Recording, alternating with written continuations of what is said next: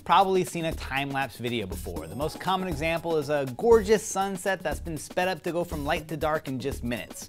Capturing scenes like this used to take a lot of money and time and special equipment, but I'm going to show you how to get professional quality results using just your smartphone. Now the app I'm using today is called Lapse It Pro. It's available on both iOS and Android, and there are a lot of options out there, but most of these tips can be applied to the competing apps. Now first, a few things about choosing the right scene. Time-lapse photography doesn't lend itself well to every situation.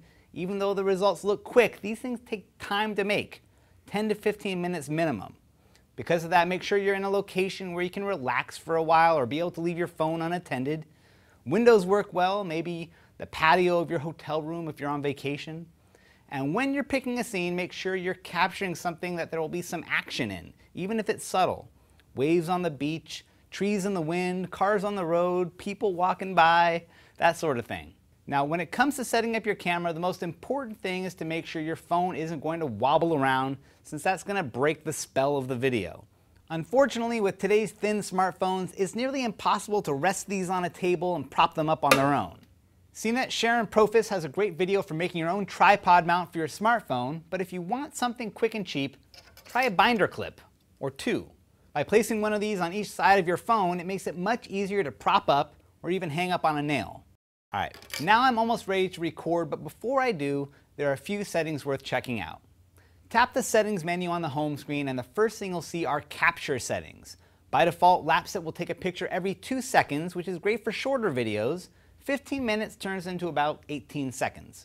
But for longer stretches, say capturing hours or entire days, it makes sense to raise this closer to a frame a minute.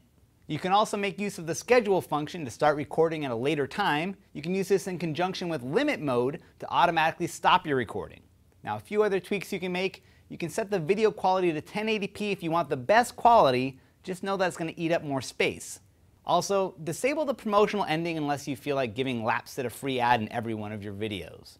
Now once you're ready to shoot, you'll see a separate settings menu on the capture screen. This will give you options for locking down the focus and white balance and exposure, you can play with these if you really know what you're doing, but I got the best results just leaving these alone on continuous automatic control. When you're all ready, you're going to set this thing down, make sure it's steady, hit the capture button, and then just find something to do for the next 15 minutes. Now when you're all done capturing your time lapse, wake up the phone and hit the stop button, then turn your phone into portrait view and you'll see a number of options for editing your video, adding effects, music, and exporting the final product. Use the trim button to edit out the shaky parts from the beginning and end when you're probably handling the phone. And then in the info panel, you can rotate the video, you can make it square, you can lay a timestamp over it.